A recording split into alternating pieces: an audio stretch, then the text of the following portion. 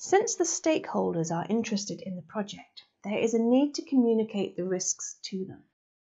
Information about the impact of the risks to the project and the organization and details of the various risks should be communicated to the stakeholders. Note that the process of communicating the risks to the stakeholders should be done sequentially and during all the steps we have discussed.